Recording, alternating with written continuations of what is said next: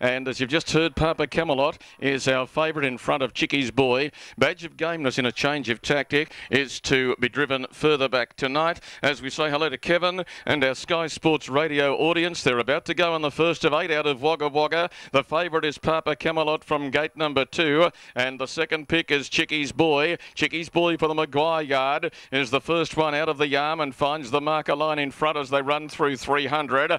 The $3,000 claimer, Bo Romulus, sat up outside the leader early, and Papa Camelot, who's closed out as the tote favourite, is having start number 191, and he's the favourite, and he's going to go up and work the chair early, or he might try and find the top, Peter McRae. When they'd settled down, Mateo Bell was three back along the inside. Papa Camelot wanted the front. He's not going to get it off Chicky's boy, so he's destined to race in the chair. Dream Cartier's taken the posse leaders back, and then, as I said, three back Mateo Bell. Bo Romulus on the outside, further back Mark Attack, followed by Norm's Courage. Second to last is Ruby Marcel. We were told Badge of Gameness would go back from six. It has, and is last of all. They run 40.2 for the lead time, and they sweep out to the back straight and back to whence the journey began. And the two favourites are having a little look at one another. They're uh, going together by uh, about two metres clear on the inside. We've got Chicky's Boy and then Papa Camelot around two and a half metres away third. On the inside of the leader's back was Dream Cartier,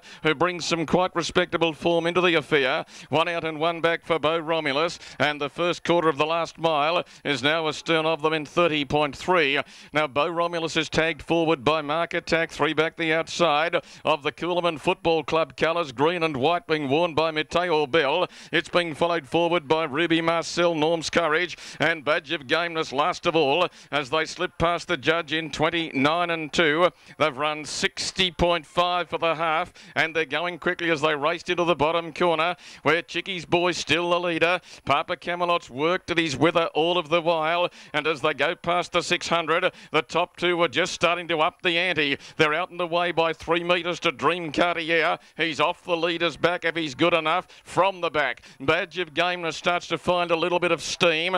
Mateo Bell and further back, Bo Romulus is gone. Uh, well back on the inside, Norm's Courage made a little bit of ground, and Mark Attack and Ruby Marcel. Papa Camelot, start number 191, looking like win number 21. He's worked in the chair, but Peter McRae went for home. He's had a few homes, this fellow, and he's going to find a win at Wagga Wagga tonight. Papa's going to race away from them, and Papa Camelot, he worked in the run. He'll take most of the check and win from uh, Badge of Gameness will run, well, Badge of Gameness or Mateo Bell. Not much for second. Mateo Bell or Badge of Gameness chased home Papa Camelot.